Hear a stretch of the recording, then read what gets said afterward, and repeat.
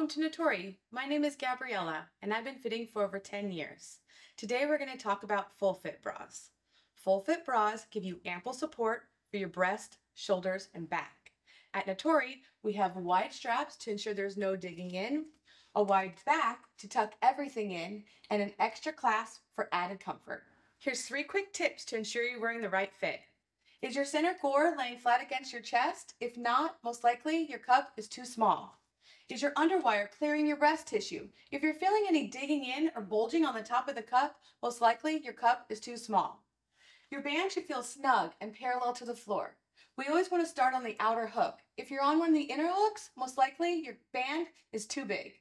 Now I'm going to teach you how to fit yourself at home. We're going to start with your band size. You're going to place a measuring tape directly under your bust line with a tight squeeze and your arms down. For the cup size, you're going to hold the tape loosely around the fullest part of your breast and your arms are going to be down. Be sure to check out our fit guide.